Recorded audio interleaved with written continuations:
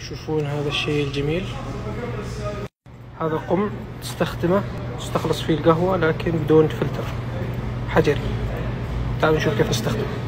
طبعا بستخدم نوع قهوة إثيوبية. طبعا بسويها باردة. أهم شيء التوتات وحطينا التوت. هذه قطعة تجي مع القمع.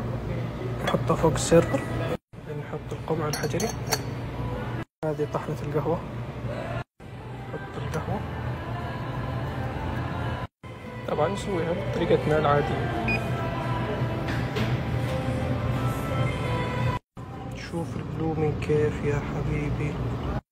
شوف الاستخلاص كيف جاي من النص.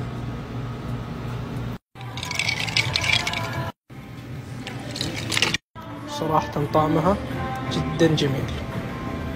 تستحق التجربة. حساب السناب في البايو. حياكم الله.